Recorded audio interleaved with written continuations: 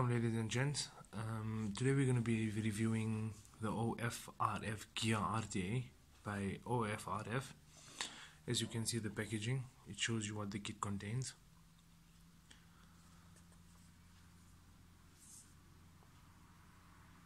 This is the gunmetal color. It's the back of the box. Uh, this is where the company is at.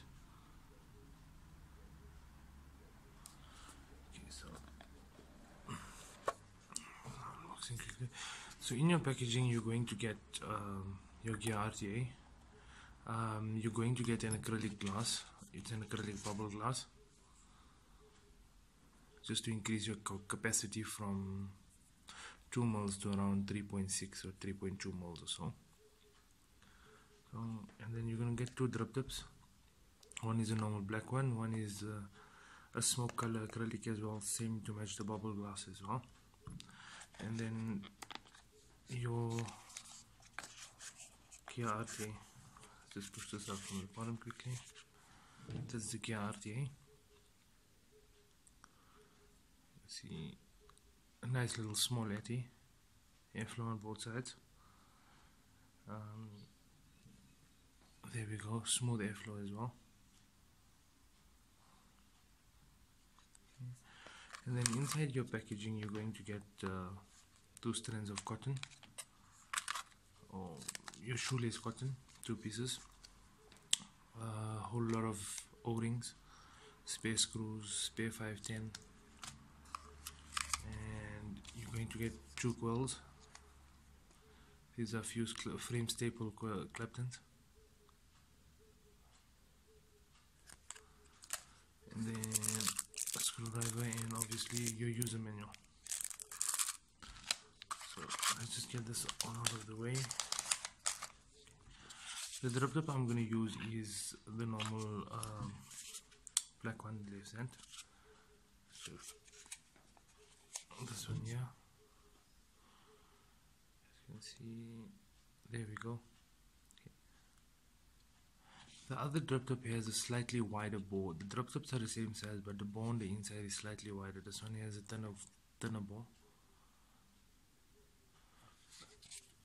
So let's of the quickly. Okay, perfect.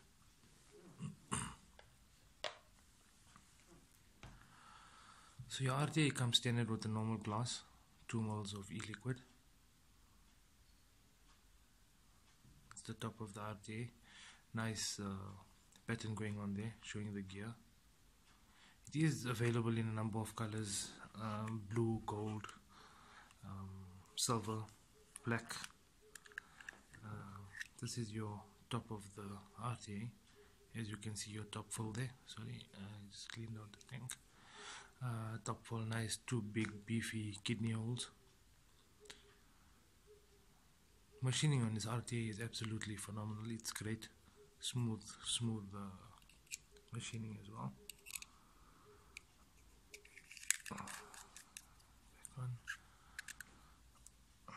Let's just get the bottom off quickly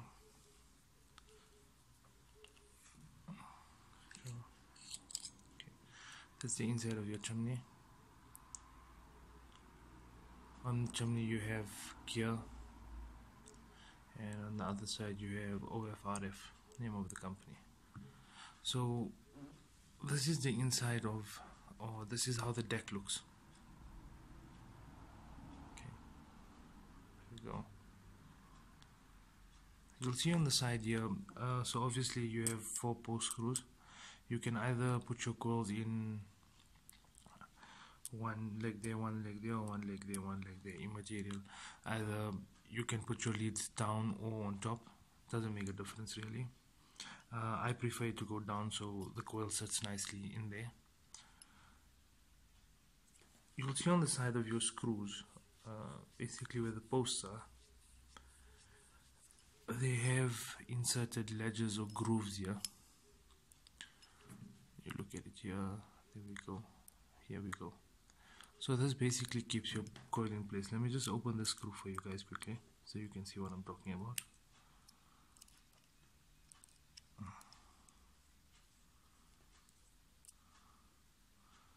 There we go. So this this here will hold your coil legs in place basically uh, when screwing down to tighten your coil down onto the deck.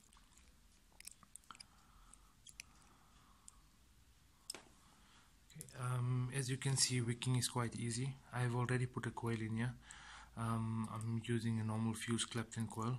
I found that other coils get a bit too hot when or your more bigger balls get a bit too hot in here. Uh, the coil height or for maximum flavor on the coil I found that coil height to be perfect from the airflow as you can see. I tried about four or five different balls in your up until date but the best one to date is the one that I'm using. The build is not very complex. It's a simple fuse Clapton uh, so your wick will basically just tuck in here and lay on the deck. Let's uh, get this thing wicked up quickly and then we'll go up top and give it a vape quickly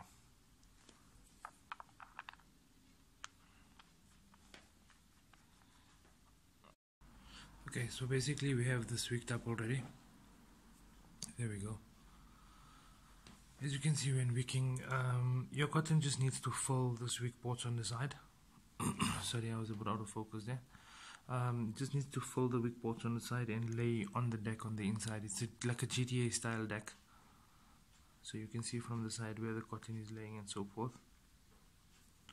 Very simple. Ease of wicking is there. Ease of building is there as well I didn't find it very difficult to build.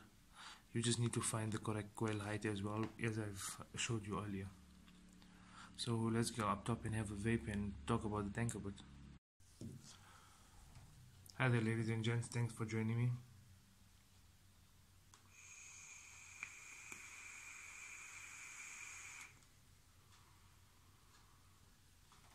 So that was a quick up and close on the Gear RTA by OFRF.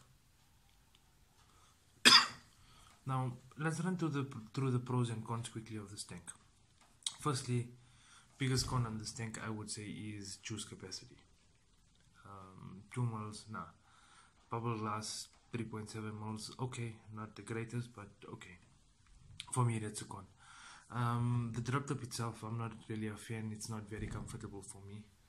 Um, the drop itself however the design of the RTA very nice very good ease of building ease of wicking is there which is absolutely brilliant um, it's not difficult to build a RTA it's not rocket science uh, wicking as well. Um, I wicked this thing. I I purposely went and just wicked it anyhow to see um, if I'm gonna get any dry hits or leaking or anything of that sort. Absolutely nothing. So no leaking.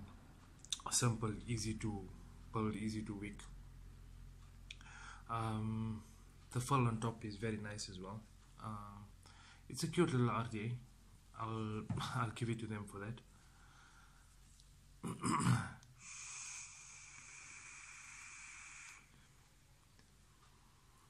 okay so there's a few things that I'd like to go over the company OFRF um, a lot of reviewers or a lot of people have said it's made by Wotofu so I went further to investigate and see uh, if it's a subsidiary company. Look there's no um, hard factual evidence on the net or on Google or anything of that sort to say that the two companies are linked in any way. The only thing I could pick up is they share the same manufacturing address.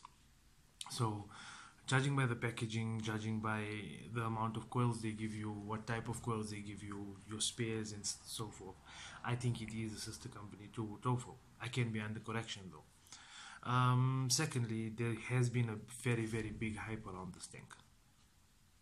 For me, um, it's a good little tank. I'm not gonna lie. Flavor is there. Flavor is great. Not the best of flavors. Um, oh, I wouldn't say flavor is great. I would say flavor is on average. Um, the thing that disappointed me the most about this tank was because of the hype that was built around this tank. I thought that it's going to be one hell of a flavor tank, and uh, I was a bit disappointed in terms of what flavor I was getting of this tank. It's it's average flavor. It's not the same, or it's not. Uh, I wouldn't say it's living up to the hype that was created around this tank.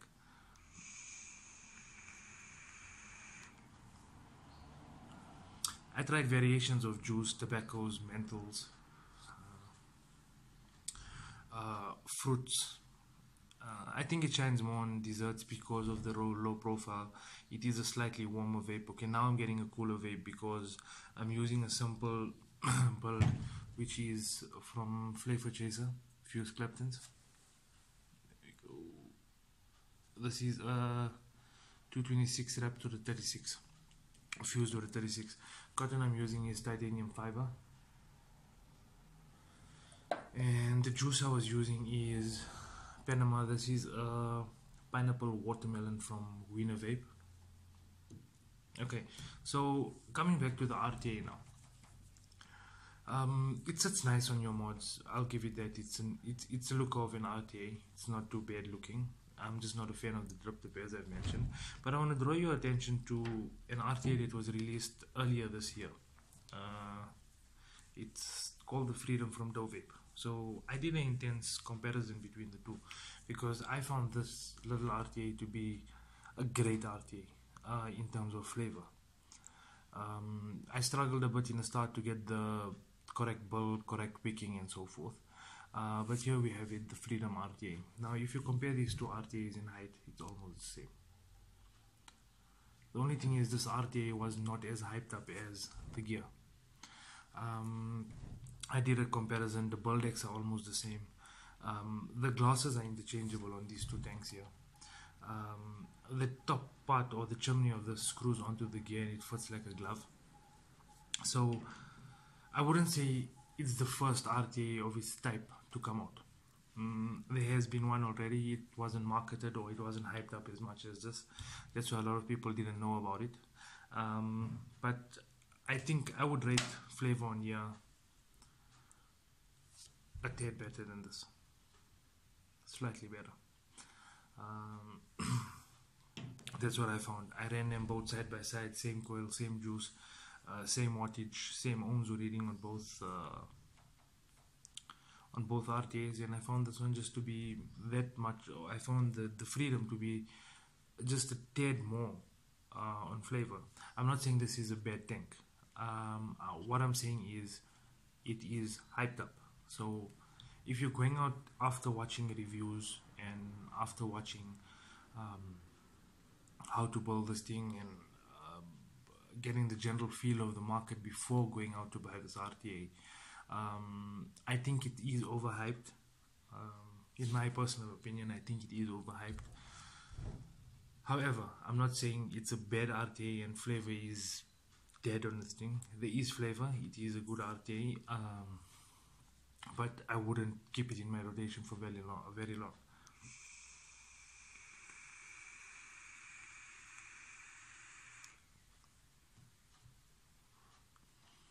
Now, a lot of people have asked how does it compare to the Dwarf RTA or the yeah the Dwarf uh, DL from Hungary KHW mods. No comparison. I wouldn't compare it at all. Uh, firstly, this RTA is retailing for around 560 Rand. The Dwarf landed here with customs and everything is selling for around 1.6. So you can see already the price difference will tell you the classification of the RTA. So it's it's it's like comparing a VW Polo to a Mercedes Benz. It's there's no comparison on it. Um, yeah, fair enough. They're both single coil and so forth. I find flavor way better on the Dwarf. Um, Dwarf is I think it's it's one of my top three RTAs for 2018. Um, when it comes to the gear, I don't think it even benchmark against those RTAs, uh, in my personal opinion. I'm not a big fan of the gear, and I think it is overhyped. Um, if you guys have any questions, suggestions, or anything of that sort, you guys more than welcome um, to pop it in the comments below, and I'll be more than likely or more than happy to answer your your, your questions or any suggestions from you guys' side. Um, from my side, thanks a lot for subscribing. Thanks a lot for watching. Um, it is festive season now, so Merry Christmas and Happy New Year to all you guys. Stay safe out there on the roads, and that's it from me. I'm out for this year. Thanks. Bye.